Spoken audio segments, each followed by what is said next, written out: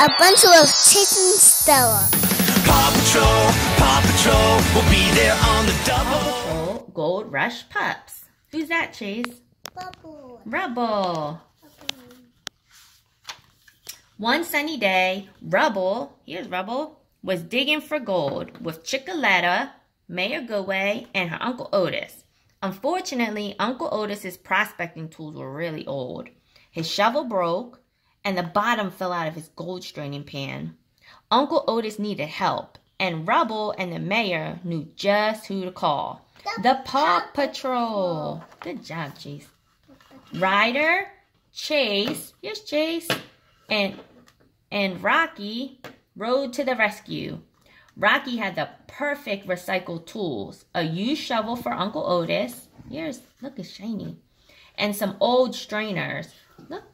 So everyone could pan for gold. They all went to work beside the river. Suddenly, Chickaletta found a shiny ro- rock. It was gold. Chase and Ryder found some too. Soon they had a big pile of glittering gold. Since Chickaletta had found the first gold nugget, Mayor Goodway wanted to build a big golden statue of her feathery friend. Good idea, said Ryder.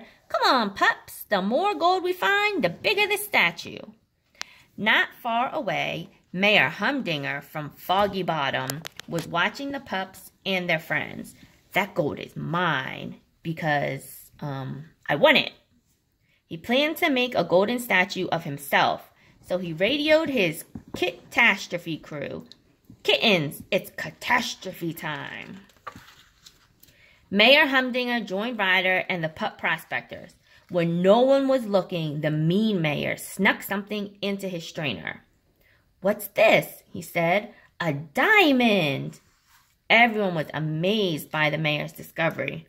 While the others studied the diamond, the catastrophe crew loaded the gold onto a little truck. Look, the catastrophe crew. Uncle Otis peered closely at the mayor's find. This is no diamond, he said. It's just rock candy. The friends turned around just in time to see Mayor Humdinger getting away with all the gold. There he goes. The Paw Patrol was on the roll. Chase! Yes, Chase. We need your drone, Ryder exclaimed. A drone flew out of Chase's truck.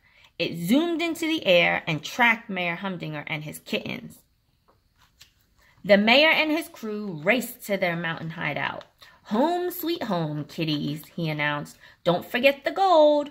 They all ran into their secret cave, but no one brought the gold inside. Chase's drone led Ryder and the pups right to Mayor Humdinger's hideout and the stolen gold. Rocky, unhook the wagon, Ryder said. You got it, exclaimed Rocky. Here's Rocky, helping with the gold. Ryder had a plan to stop the sneaky kittens from chasing after the gold. Let it go, Rubble, he shouted. Rubble pushed a big boulder in front of the hideout's entrance. Here, look, Rubble. Rubble on the double. Temporarily trapping Mayor Humdinger and the catastrophe crew. Oh, look. No, Mayor Humdinger cried as Ryder and the pups rode away with the gold. I deserve to be a statue. A few days later in Adventure Bay, Mayor Goodway unveiled a giant golden statue of Chickaletta. Ryder, Uncle Otis, and all the pups cheered when the little chicken perched on top.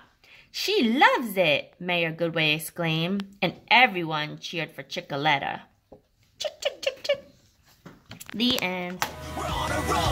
If you had fun reading with us today, don't forget to like, subscribe, and hit the bell. See you next time on Adventures with Chase and Stella.